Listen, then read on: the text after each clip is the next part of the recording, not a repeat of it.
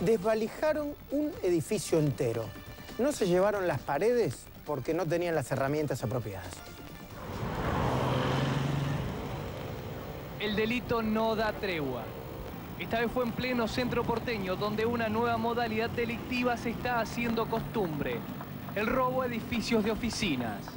Entraron por la terraza, creo que se cruzaron de un edificio y bajaron por ahí tomando al encargado. Creo que lo tuvieron en su casa, eh, tipo así de rehén, digamos, y bajaron por las, por las escaleras y fueron asaltando.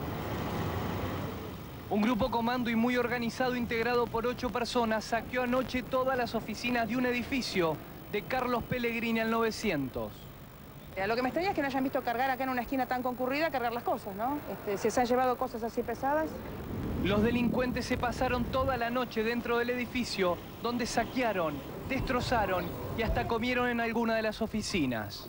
En el último piso antes de irse formaron una especie de mesa con unas sillas y unas bolsas y parece que tuvieron un picnic antes de irse, así que tuvieron mucho tiempo para hacerlo.